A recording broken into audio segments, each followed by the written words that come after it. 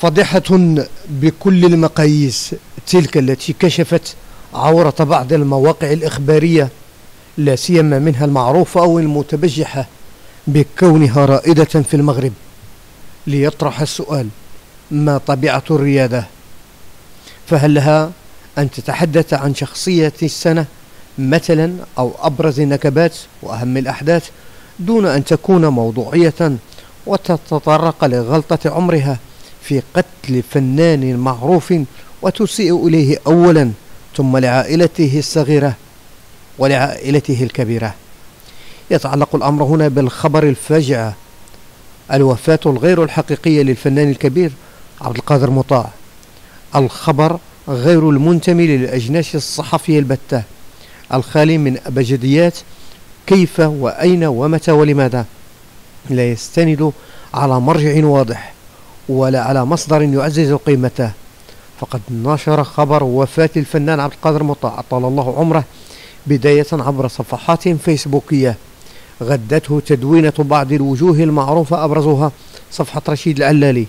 وبعده بقليل التقطت كبريات المواقع الإشارة بكل غباء دونما العودة إلى الاشتغال على المادة أو ربط الاتصال بأعضاء نقابة الفنانين أو إذا تعذر الأمر تسخير جيش المراسلين المتواجدين بالدار البيضاء وقرب مسكن الممثل لتأكيد ما جاء به الكتاب المقدس بعد الكتب السماوية الأربع الفيسبوك.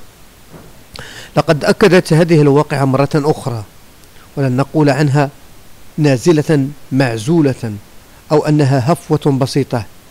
هشاشة البناء الصحفي في المغرب فقد عممت غالبية المواقع الخبر في انجرار أعمى مكشوف مستهلة خبرها بالجملة الجاهزة علمت مصادرنا المؤكدة في حين أنهم سقطوا في زلة من الكبائر الكبرى للكوبي كولي واتبعوا أهواء شيطان الفيسبوك وبينت ضعف الاجتهاد الإعلامي والانجرار فقط وراء ثقافة البوز والسبق الفاشل الذي يجر الويلات والأنكى من ذلك.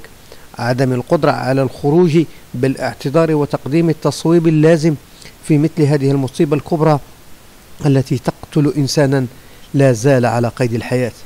وتجعل أناسا أقارب الذي ارتكبت في حقهم جريمة القتل الصحفية في قاع الدنيا يحزمون حقائبهم مفزوعين لحضور جنازة مرسومة فقط في أدهان المواقع التي تسمي نفسها كبرى ورائدة. إن هذه الواقعة أبانت عن هشاشة حس المسؤولية عند بعض مسيري المواقع والجرائد الإعلامية التي لا تكلف نفسها عناء التأكد من طبيعة الخبر رغم أنه ليس بالعناء لأن العناء الحقيقي هو ما تم اختلاقه من ضجة وبلبلة درامية في نفسية التي أساءوا إليه أولا وعكروا صفو نفسيته العليلة. ودفعت بالمتتبعين إلى التشكيك في طبيعة المقالات التي تزفها يوميا بمقدمة علمت مصادرنا فإذا كانت مصادركم العليمة على مقاس هذه الجريمة الإعلامية فإن المستهلك المغربي قد ثبت لديه أنه ضحية تهافت دكاكين تجارة الخبر غير اليقين صحافة إكشوان وصراع النجوم فيما بينهم وأزليات الطلاق والزواج والخيانة. أما واقع الأحداث المعاش فقد أصبح بين يدي فضاء مارك العجيب الذي عوض إبليس في تزيين سوءة بعض الصحفيين والأشخاص وسكان الكرة الأرضية وأثبتوا أنهم عباد تدوينات صحافة التواصل الاجتماعي والتقاط السلعة بسذاجة عالية من فئة خمسة نجوم دون التأكد منها. المشاهد تيفي قبل ما تخرجوا ما تنسوش تابوناو في la chaîne يوتيوب وبارطاجيو الفيديو مع أصحابكم في مواقع التواصل الاجتماعي. وما تنسوش ديروا جيم.